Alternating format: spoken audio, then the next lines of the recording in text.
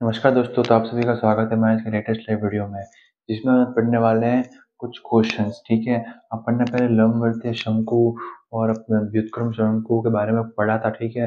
अपन definition पढ़ी थी formula पढ़े थे उनके तो आज अपन पढ़ने वाले, उससे रिलेटेड अपन क्वेश्चन पढ़ने वाले हैं, ठीक है? तो चलिए शुरू करते हैं। तो अपने पहले फ़र्स्ट क्वेश्चन क्या है? कि सिद्ध कीजिए, मूल बिंदु ज़ीरो, अपने पास यहाँ पे बिंदु ओ पर है, ज़ीरो कमा ज़ीरो कमा ज़ीरो, ठीक है? जेड अक्ष शंकु का अक्ष हो तो लंबवर्तीय शंकु का समीकरण ज्ञात करना है, ठीक है? तो अपने पास सॉल्व करना है तो मेरे पास पहले ये अपन पहले अपने पास एक लाइन बनाएँगे, ठीक है? अपने पास अपने पास क्या है? जो वाई जेड और ये अपने पास एक्स है, ठीक है? फिर अपने पास क्या बोलना है इसने? जेड अक्ष शंकु का अक्ष हो ठीक है? तो अपने पास शंकु का बनाना है तो शंकु का अक्ष क्या अपने पास जेड अक्ष है, ठीक है?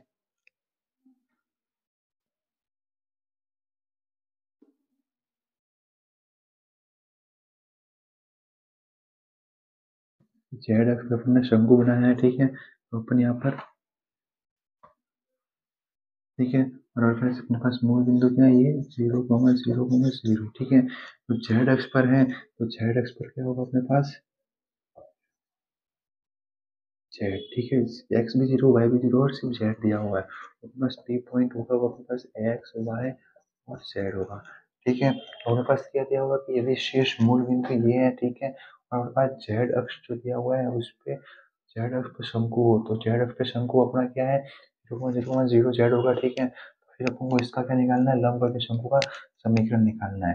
ठीक है तो इसमें सबसे पहले अपने पास क्या करेंगे? फॉर्मूला अपने पास क्या होता है? कॉस स्क्वायर फिर थीटा एक्स पास क्या दिया हुआ है अपने पास? ज़ीरो दिया हुआ है, ठीक है? एक्स वन क्या दिया हुआ है? ज़ीरो। वाई वाई वन भी ज़ीरो। और जेड, वो जेड वन के पास क्या दिया हुआ है? जेड दिया हुआ है, ठीक है? फिर अंडर रूट पी स्क्वायर होगा तो X square, Y square, Z square, ठीक है? फिर हमारे पास X one zero square square, फिर वाई वन ज़ीरो, फिर जेड वन का स्क्वायर, ठीक है? हमारे पास कॉस स्क्वायर थीटा तो आपके पास कितना बढ़ेगा जेड का स्क्वायर फिर अपने पास क्या आएगा? Under root X square Y square Z square ठीक है? फिर यहाँ पर सिर्फ़ जेड का स्क्वायर आएगा। फिर अपन यहाँ पर क्या करेंगे? वर्ग करेंगे। वर्ग करेंगे तो अपन सबसे पहले आप इतना उतार लीजिए, पहले क्वेश्चन लिख लीजिए, फिर डायग्राम बना दीजिए, फिर आप इतना उतार लीजिए, फिर अपन इसके आगे का क्वेश्चन सॉल्व करेंगे, ठीक है? आपके पास क्या था? कोस स्क्वायर थीटा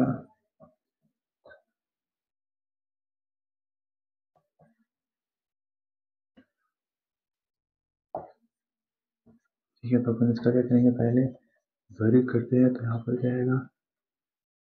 मेरे पास यहाँ पे कॉस स्क्वायर ही रहेगा, ठीक है? बस का पहले कॉस स्क्वायर नहीं होगा अपने यहाँ पे कॉस ही होगा कॉस स्क्वायर अब होगा, ठीक है? तो आप पीछे अपन ने कॉस स्क्वायर लिखा था, आप कॉस स्क्वायर मिला देना, जब कॉस था वो यहाँ पर अपने पास वर्ग करने के बाद कॉस स्क्वायर आएगा। यहाँ पर जेड की पावर फोर हो जाएगी, यहाँ पर ये अंडर रूट से हट जाएगा रूट हट जाएगा इसके ऊपर, फिर हमारे पास यहाँ पर से क्या आएगा? जेड स्क्वायर तो जेड से जेड यहाँ पर कट गया, फिर अपन यहाँ पे इसको एक्सचेंज कर लेंगे, वज्र गुना कर देंगे। यहाँ पर क्या होगा X square Y square Z square Z square अपन कॉस स्क्वायर थीटा ठीक है तो यहाँ पर अपने पास चेक हो जाएगा तो एक्स स्क्वायर और वाई स्क्वायर स्क्वायर और जेड स्क्वायर अपने पास एक्स स्क्वायर थीटा हो जाएगा। ठीक है, अपने पास अगर जेड इस तरह जाएगा तो X square Z square X square theta minus हो जाएगा तो यहाँ पर X square Y square equal to bracket में आएगा अपने plus plus Z square common X square theta minus one ठीक है? आपने इतना कर लिया है। तो ये अपने पास क्या आ गया? पहले अपने पास, फिर अपन पास क्या आएगा? यहाँ पर अपन X square plus Y square equal to Z square N square theta answer ठीक है? तो नॉर्मली अपन ने क्या किया? जो अपने पास इक्वेशन आई थी अपने पास जो था फॉर्मुलेशन में जो आया था, उसको अपना वर्क किया वर्क करने के बाद अपने बस इसको सरलतम रूप में ला लिया और अपने पास एक समीकरण आ गया, ठीक है? तो आपको ये क्वेश्चन समझना होगा अपन से एक और क्वेश्चन करेंगे, फिर उसके बाद अपन इस टॉपिक को एंड करेंगे, ठीक है? तो पहले इतना होता है फिर अपन दूसरा क्वेश्चन हल करते हैं। और बस क्वेश्चन दिया होगा यदि किसी लंबवर्ती शंकु की तीन परस्पर समकोणीय जनक रेखा हो तो उसका अर्धशीर्ष कोण, सिद्ध कीजिए टेन इनवर्स अंडर टू होगा। ठीक है? तो अपने पास क्या दिया हुआ अपने पास बस ऐसे का पहले पहले अपने जो डायग्राम बनाया था देखा वही डायग्राम बनाना है। जैसे जेड अक्ष है। तो यहाँ पर एक शंकु है। शंकु के अपने पास एक, ठीक है? फिर अपने पास यहाँ पर एक्स और वाई है यहाँ पर एक। ठीक है, फिर अपने पास पी का जो X Y Z zero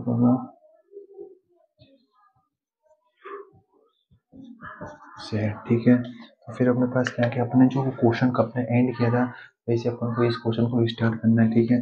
Plus A plus B plus C is equal to zero अपने पास क्या आएगा अपने पास X square Y square is equal to Z square ten square theta ठीक है तो अपने पास यहाँ से इसको इससे लेंगे इसको माइनस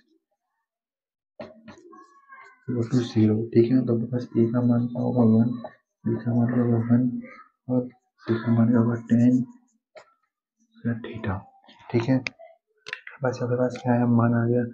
पास टेन का मान क्या है? अपने पास क्या है? टेन क्या है?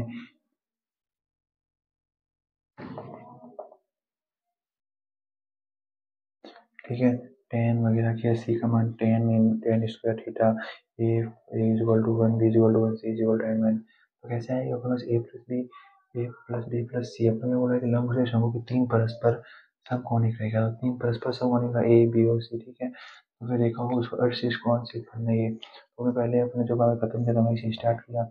आपको बताया वो क्वेश्चन समझ आया तो यहाँ से अपने ए बी और सी का मान निकाला। फिर अपने को लिखना है यहाँ पे कि तीन परस्पर समकोणिक जनक रेखा के लिए, तीन, आपको लिखना है कि तीन परस्पर समकोणिक जनक रेखा के लिए, रेखा के लिए क्या हुआ कि कंडीशन क्या होगी? Condition for three perpendicular line ठीक है?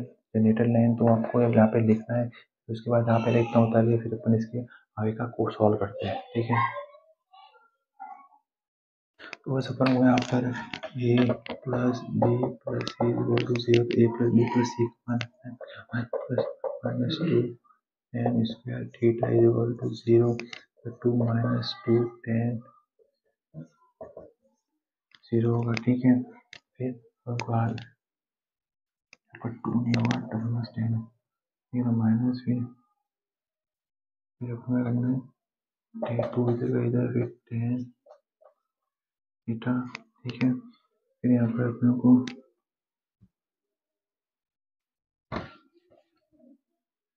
minus ten square theta minus का टू कट जाएगा, ठीक है? पास थीटा इधर इधर रहेगा फिर अपने पास ये।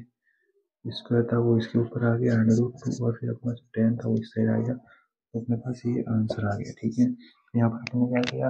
अगर माइनस से माइनस कर दिया, फिर अपने पास स्क्वायर था टू अंडर आ गया। टेन था वो अपने ला गया तो माइनस टेन इनवर्स हो गया अंडर रूट टू मेरे पास साइंस प्रो हो गया, ठीक है? तो अपन नॉर्मली क्या किया, लोगों ने A plus B plus C तीन प्लस पर देखा बोले जो मान ली तो अपन जो क्वेश्चन खत्म किया था वहाँ से, अपन को स्टार्ट करना है, ठीक है? तो वहाँ से अपना नॉर्मली अपन को जो पता था, वो अपन क्वेश्चन लिख दी। क्वेश्चन लिखने के बाद अपने ए बी और सी का मान निकाला और वो रख दिया इसमें तो रखने के बाद अपने पास ये नॉर्मली सिद्ध होगा, ठीक है? तो बस आज के लिए इतना ही और इस टॉपिक से रिलेटेड आपका जो भी क्वेश्चन हो प्लीज़ हमें कमेंट सेक्शन में बताइए। हम उसको सॉल्व करके आपको वह वीडियो प्रोवाइड कराएँगे, ठीक है? तो आपको जैसा वीडियो में क्या समझ में आता बस कमेंट करके बताइए हम आपको उसको समझा देंगे। प्लीज़ वीडियो को लाइक कीजिए शेयर कीजिए और कमेंट करके बताइए कि आपको वीडियो कैसी लगी और आगे जाके शेयर कीजिए। Thank you for all of students आप इसको उत्तर लेना ठीक है?